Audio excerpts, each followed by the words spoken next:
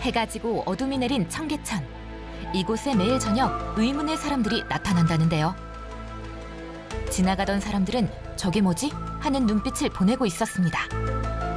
대체 무엇을 본 걸까요? 이때 청계천에 들어가 수상하게 움직이는 사람들이 눈에 띄었습니다. 청계천 바닥을 훑으며 지나다니는데요. 다음 날 오후 많은 사람들이 찾은 청계천에는 활기가 뛰고 있었습니다. 내외 국민 관광객 모두 동전 던지는 재미에 푹 빠져 있었는데요. 구멍에 동전을 넣은 사람과 넣지 못한 사람 모두 즐거운 시간을 보내고 있었습니다. 사람들은 왜 팔석담에 동전을 던지고 있는 걸까요? 동전이 혹시 구멍에 들어가면 소원이 이루어지지 않을까 해서요. 소원 어, 이루어지게 어, 해달라고 하는 동전을 그래서 던진 거예요. 안유리. Um, to get ice cream. like we have a test and we hope we got the good mark in the test. 하루에도 수많은 사람들이 방문해 동전을 던진다는 팔석담.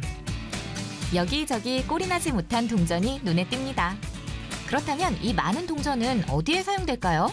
아, 그거는 몰라요. 그거는 모르겠어요. 응. 공사 뭐 기부를 한다든지 그렇게 하지 않을까요? 후원이 아니면은 여기 이제 이용객들이 있으니까 뭐 유지하는 비용이라든지 뭐 청소 비용이나 뭐 이제 그런 거에 쓰여야 되겠죠. 음. 저녁 9시가 되자 어김없이 그들이 나타났습니다. 자물쇠가 달린 가방을 들고 나타난 이들은 팔석담에 쌓인 행운의 동전을 모조리 쓸어 담았습니다. 비가 오지 않는다면 주말에도 매일 동전을 수거한다는데요. 이렇게 수거된 동전은 세척, 건조, 개수를 거쳐 금고에 보관한다고 합니다. 청계천 팔석담에 모인 행운의 동전을 서울시설공단에서 매일 수거하여 2015년부터 서울장학재단으로 매년 기부해 주시고 계십니다. 지난 6월 19일 장학금 수여식이 있었는데요. 2015년부터 장학금으로 사용된 행운의 동전은 무려 2억 4천만 원에 달한다고 합니다. 장학금을 수여받은 학생들을 직접 만나볼 수 있었는데요. 혹시 장래희망이 없어요?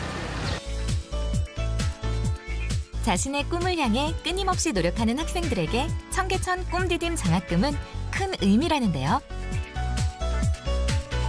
공부를 열심히 하긴 했어도 혼자서 하는 데는 좀 무리가 있잖아요. 근데 장학금 통해서 학원도 다니고 서울 시민들 여러분께 좀 더 감사한 것 같아요. 행운의 동전이 만들어낸 꿈과 희망이 꼭 이뤄지기를 바라봅니다.